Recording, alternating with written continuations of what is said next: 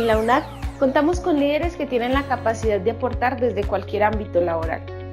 Soy Alejandra Correa, monitora de la zona Centro-Sur y te contaré quién es nuestro talento unadista de la semana. En esta ocasión, la UNAD resalta la labor de Ángela Viviana García Salamanca, docente unadista de la zona Centro Boyacá, líder del semillero de investigación y fundadora de la Red Internacional de Formación en Educación en Salud, RIFES, quien coordinó y trabajó junto al Programa de Tecnología y Seguridad y Salud en el Trabajo en coordinación y colaboración con la Universidad del Tolima y el Consejo General de Profesionales de Seguridad y Salud en el Trabajo de España,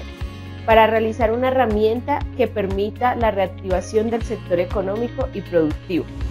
Para conocer más acerca de esta propuesta, la coordinadora del proyecto, Ángela García, nos cuenta cómo se realizó y cómo surge la necesidad de adoptar un protocolo de riesgos laborales para hacer frente al COVID-19.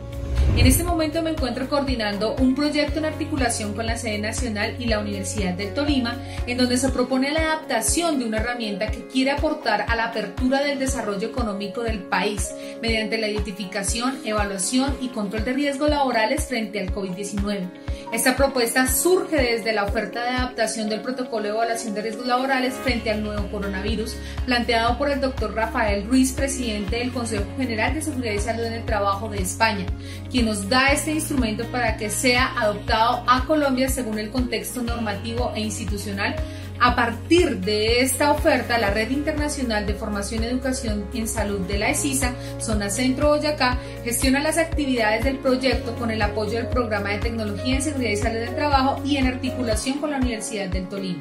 Los investigadores participantes del proyecto, la coordinadora, quien les habla, y por parte de la Universidad Nacional Verde de Distancia, Yuri Lilian González, Luzmeri Bernal, Juliet Natalie Lesmes, Sonia Rangel y por parte de la Universidad del Tolima, Galia Rodríguez, Wilmer Molina, Ricardo Rojas, Carlos Guzmán, David Zareski y Diana Paul. Muchas gracias. Conoce más de nuestros talentos unadistas en nuestras redes sociales y en nuestra página institucional.